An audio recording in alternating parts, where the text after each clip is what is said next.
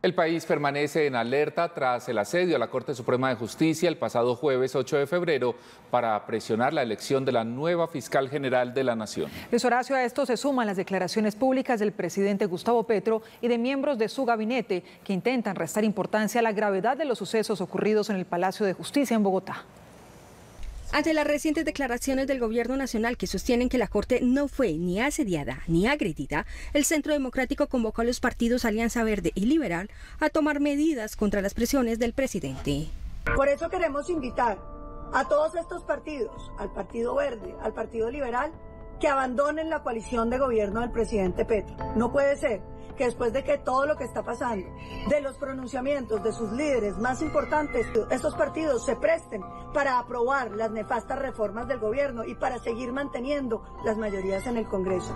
Incluso los mismos congresistas de la coalición del gobierno rechazaron las presiones a la Corte e instaron a respetar sus tiempos y procedimientos. Sin embargo, insisten en que no puede ser nombrada Marta Mancera como fiscal encargada que la señora Marta Mancera decida retirarse y no aceptarla como fiscal y que se nombre cualquier otra persona de la fiscalía.